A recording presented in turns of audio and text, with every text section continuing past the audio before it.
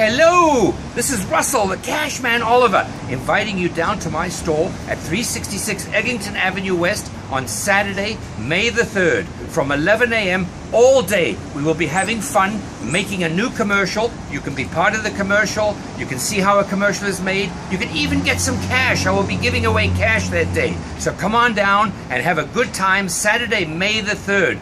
Oh, yeah.